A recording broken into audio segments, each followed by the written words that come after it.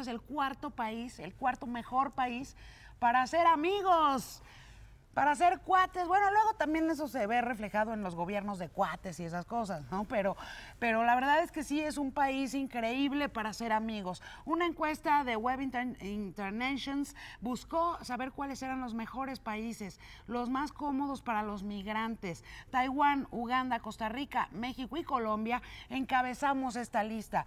Kuwait y Arabia Saudita, por supuesto, están en el otro extremo, están hasta abajo. La encuesta se llevó a cabo en 67 y fue respondida por 14 mil migrantes en todo el mundo. Por fin, una lista padre, una lista increíble, una lista buena en la que México se encuentra en los primeros lugares.